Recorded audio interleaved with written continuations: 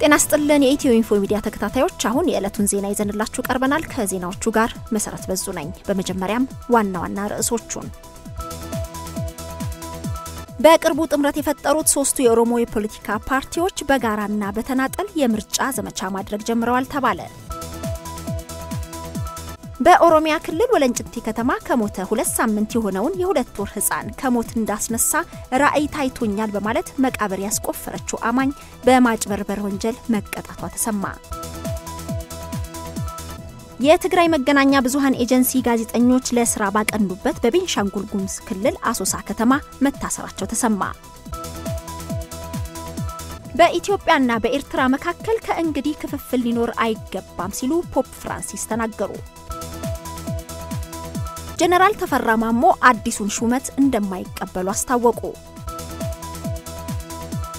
መቄዶንያ የአረጋውያንና የአእምሮ ህሙማን መርጃ ማዕከል በባህር ዳር ከተማ 10 ሺህ ካሬ ሜትር ቦታ በነጻ ተሰጠው። ወደ ዝርዝር ዜናዎቹ እናልፋለን። በቅርቡ ጥምረት የፈጠሩት ሶስቱ የኦሮሞ የፖለቲካ ፓርቲዎች በጋራና በተናጠል የምርጫ ዘመቻ ማድረግ ጀምረዋል ተባለ።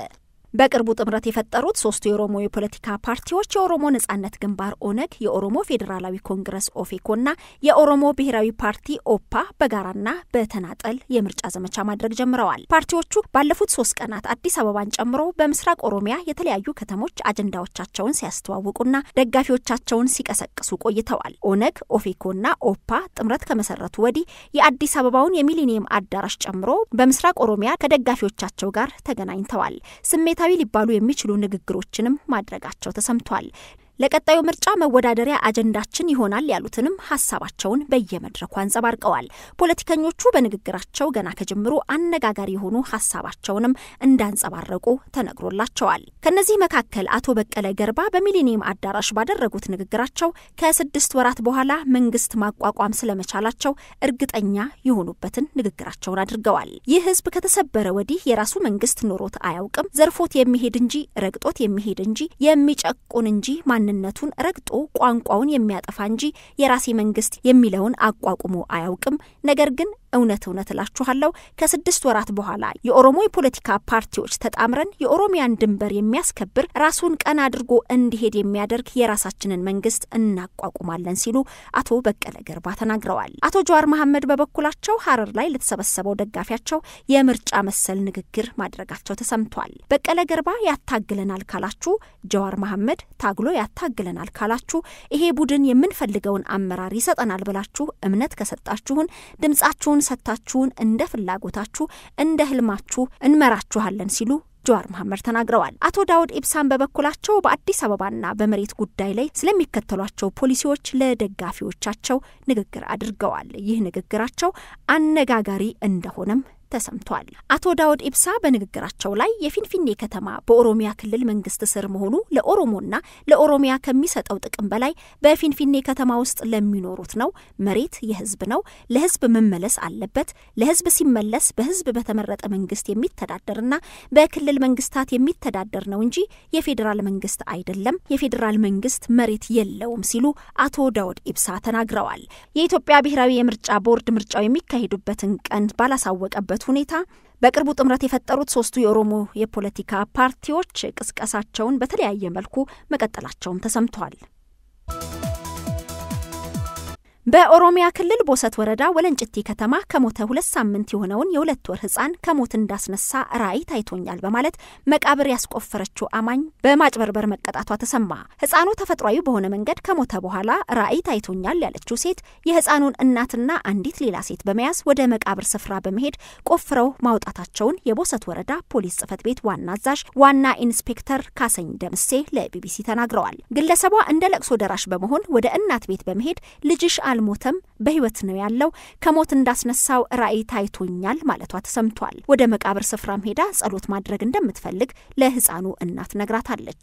እናትም እውነት መስሏት ተያይዘው ወደ መቃብር ስፍራው ሄደዋል። ዋና ኢንስፔክተር ካሰኝ እንዳሉት መቃብር ስፍራ ከደረሱ በኋላ ህፃኑን ቆፍራ አውጥታ እዛው ስትቀመጥ የአካባቢው ነዋሪዎች ተመልክተው ለፖሊስ ጥቆማ ማድረጋቸውን ተናግረዋል። ከዚያም ፖሊስ በቦታው ደርሶ ጉዳዩን ከመረመረ በኋላ ህብረተሰቡን አስተባብረው አስከሬኑ በድጋሚ እንዲቀ እንዲቀበር አድርገዋል። ፖሊስ ጉዳዩን ሲከታተለው ቆይቶ ግለሰቧ ለፈጸመችው ወንጀል ፍርድ ቤት ቀርባ ተገቢውን ቅጣት እንዳገኘች ዋና ኢንስፔክተር ካሰኝ ደምሴ ተናግረዋል። በብይኑ መሰረትም ጥፋተኛ መሆኗ ስለተረጋገጠ በሁለት ሺህ ብር ተቀጣለች ተብሏል። አማኟ በቤተ ክርስቲያን ውስጥ ያላት ኃላፊነት ምን ነበር በሚል ቢቢሲ ለኢንስፔክተሩ ባቀረበው ጥያቄ ከታሪኳ እንደምንረዳው አማኝ ነች እንጂ አገልጋይም ወይም ሌላ ነገርም አይደለችም ሲሉ ተናግረዋል። ከተቀበረ ሁለት ሳምንታት የሞላውን ሕፃን ፈጣሪ ራዕይ አሳይቶኛል በማለት አስከሬኑ ተቆፍሮ እንዲወጣ መደረጉ የአካባቢውን ነዋሪዎች በጣም ያስቆጣና የተከበረውን መቃብር ቦታ ክብር የሚነካ እንደሆነ ዋና ኢንስፔክተሩ ገልጸዋል። ፍርድ ካገኘችው ይህቺ ሴት በተጨማሪ እናትና አማኟን ይዛት መጣች አንዲት ሌላ ሴት በወንጀል ተጠርጥረው ምርመራ የተደረገባቸው ሲሆን ሁለቱ ጥፋተኛ አለመሆናቸው ስለተረጋገጠ በነጻ መሰናበታቸው ተሰምቷል። እናትም ለፖሊስ በሰጠችው ቃል ልክ እንደ ማንኛውም ለቅሶ የሚደርስ ሰው ወደ ቤት ከመጣች በኋላ ራዕይ ታይቶኛል፣ ልጅሽን አስነሳለሁ ብላ በመጀመሪያ ቤት ውስጥ ጸሎት ካደረገች በኋላ ወደ መቃብር ስፍራው ሄደን አስከሬኑን አወጣ ነው ያው የእናት አንጀት ሆኖብኝ አመንኳት ስትል ለፖሊስ ቃሏን ሰጥታለች። ራዕይ ታይቶኛል ያለችውን አማኝ ወደ ቤት ይዛት የመጣችው ሌላኛዋ ሴት ከልጁ አባት ጋር በአንድ መስሪያ ቤት አብረው እንደሚሰሩም ለፖሊስ ከሰጠችው ቃል ለመረዳት ተችሏል። አስከሬኑ ተቆፍሮ በወጣበት ወቅት እንዴት አንድ ጤናማ ሰው ከተቀበረ ሁለት ሳምንት የሆነውን አስክሬን አውጥቶ ይዞ ይቀመጣል በሚል የአካባቢው ነዋሪ በመረበሹ ግርግር ተፈጥሮ እንደነበረም ዋና ኢንስፔክተሩ ጨምረው ለቢቢሲ ተናግረዋል።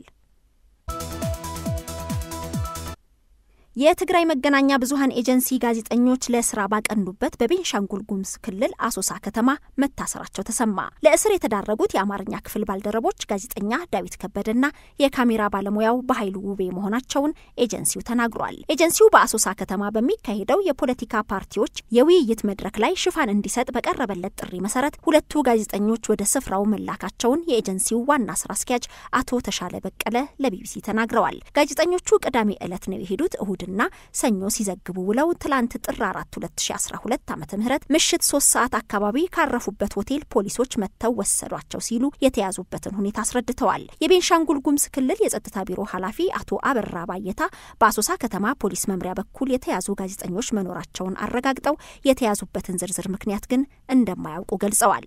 የአሶሳ ከተማ አስተዳደር ፖሊስ መምሪያ ኃላፊ ዋና ኢንስፔክተር እስማኤል በበኩላቸው ጋዜጠኞቹ በቁጥጥር ስር የዋሉት ደብዳቤ ይዘው ስላልተገኙ ነው ብለዋል። ዋና ኢንስፔክተር እስማኤል ሁለቱ ጋዜጠኞች የፖለቲካ ፓርቲዎች ውይይትን ለመዘገብ ከኤጀንሲው አዲስ አበባ ቅርንጫፍ መላካቸውን እንደነገሯቸው ጠቅሰው ጋዜጠኞቹ ወደ አሶሳ ሲመጡ ደብዳቤ ባለመያዛቸውና የቤንሻንጉል ጉሙዝ ክልል ስለ ሁለቱ ጋዜጠኞች ወደ ክልሉ መምጣት የሚያውቀው ነገር ባለመኖሩ መታሰራቸውን ይናገራሉ። ጋዜጠኞቹ መጡበት ወደ ተባለው የአዲስ አበባ ቅርንጫፍ ቢደውሉም ገና ምላሽ አለማግኘታቸውን ገልጸዋል። በሌላ በኩል የኤጀንሲው ስራ አስኪያጅ ስለ ጉዳዩ መረጃ ለማግኘት ወደ ክልሉ ፖሊስ ኮሚሽንና ወደ ከተማው ፖሊስ በተደጋጋሚ ቢደውሉም ማብራሪያ ሊሰጣቸው እንዳልቻለ ተናግረዋል።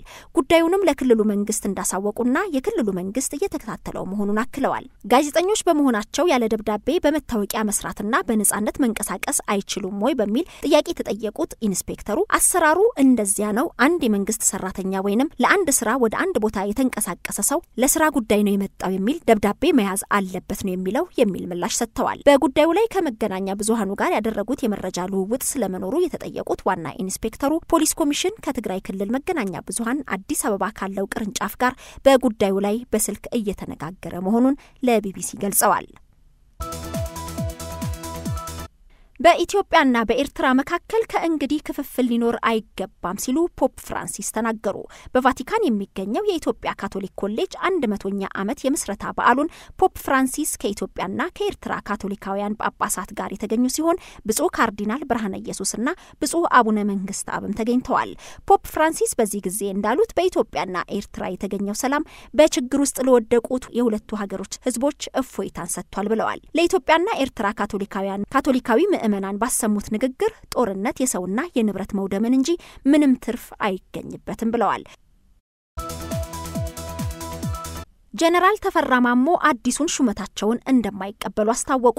የአማራ ክልል ልዩ ኃይል አዛዥ የነበሩት ጀነራል ተፈራ ማሞ ከአማራ ሚዲያ ማዕከል ጋር በነበራቸው የስልክ ቆይታ እንዳሳወቁት ከሰለጠንኩበትና እድሜ ልኬን ካገለገልኩበት ሙያዬ ጋር የማይገናኘው የአማራ ውሃ ስራዎች ኮንስትራክሽን አማካሪነት ምደባን አልቀበለውም ሲሉ ተናግረዋል።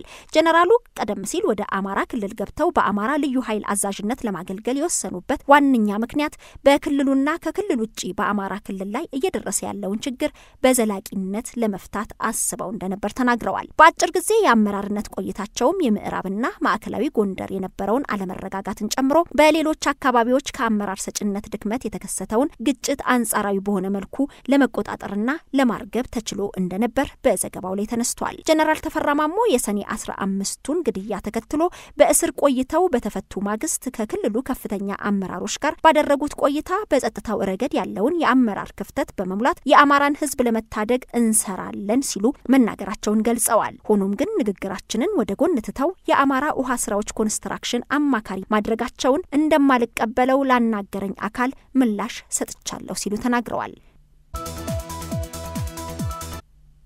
መቄዶንያ በባህር ዳር ከተማ 10 ሺህ ካሬ ሜትር መሬት በነጻ ተሰጠው። መቄዶንያ የአረጋውያንና የአእምሮ ህሙማን መርጃ ማዕከል ጧሪና ደጋፊ የሌላቸውን በርካታ ተጨማሪ ወገኖችን ቅርንጫፍ በመክፈት ከጎዳና ለማንሳትና ለመርዳት የሚያግዘውን 10 ሺህ ካሬ ሜትር መሬት ድጋፍ በአማራ ብሔራዊ ክልላዊ መንግስት ባህር ዳር ከተማ ማግኘቱን ተናግሯል። የፊታችን ሐሙስም የክልሉ ሰራተኛና ማህበራዊ ጉዳይ ቢሮ ኃላፊና የባህር ዳር ከተማ ከንቲባ የመሬቱን ካርታ ለማዕከሉ የማስረከብ ስነ ስርዓት እንደሚያካሂዱ ተሰምቷል። መቄዶንያ የአረጋውያንና የአእምሮ ህሙማን መርጃ ማዕከል በተለይ ራሳቸውን ችለው መመገብ፣ መንቀሳቀስና መጸዳዳት የማይችሉ የአልጋ ቁራኛ የሆኑ እንዲሁም የሰው ድጋፍ የሚያስፈልጋቸውን ከሁለት ሺህ በላይ አረጋውያንንና የአእምሮ ህሙማንን ከጎዳና በማንሳት የምግብ አልባሳት፣ ሕክምናና ተገቢውን እንክብካቤና ድጋፍ እየሰጠ የሚገኝ ማዕከል ነው። ኢትዮ ኢንፎ ሚዲያ የተለያዩ ማህበራዊ፣ ፖለቲካዊና ወቅታዊ ጉዳዮችን እያዘጋጀ ወደ እናንተ ያደርሳል። subscribe፣ comment፣ share በማድረግ ቤተሰቡን እናመሰግናለን።